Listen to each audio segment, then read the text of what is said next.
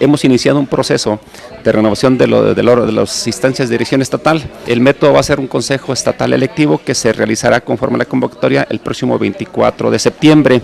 Previamente del 15 al 20 de agosto, es decir, de este mes, se abrirá el plazo para registro de aspirantes o de, o de candidatos a, para sustituir al compañero Iván Ramírez Maldonado quienes están fungiendo como dirigente interino y termina un periodo de tres años. Estatutariamente eh, los periodos de dirección duran tres años y se tienen que renovar eh, por estatuto y aparte también por un acuerdo del Consejo Nacional que nos involucra a todo el PRD en el país eh, de sustitución de, y recambio de direcciones estatales con la finalidad de ir preparando el terreno necesario para la elección del 2012. Para el PRD es una elección importantísima porque es una oportunidad que tenemos las izquierdas en el país de darle un cambio de timón al proceso que estamos viendo en el ámbito nacional.